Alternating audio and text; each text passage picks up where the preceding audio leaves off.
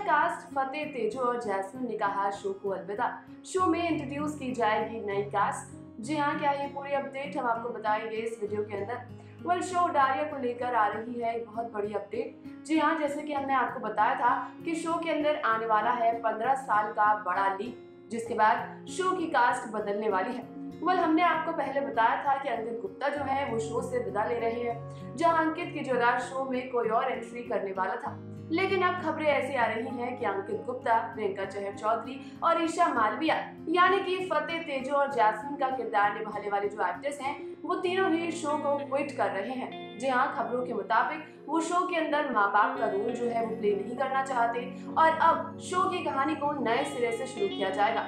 जहाँ शो में नई कास्ट को इंट्रोड्यूस किया जाएगा और एक फ्रेश स्टोरी लाई जाएगी। जी हाँ ऐसे में अंकित गुप्ता, ईशा मालविया और प्रियंका चहर चौधरी ने कह दिया है शो को अलविदा।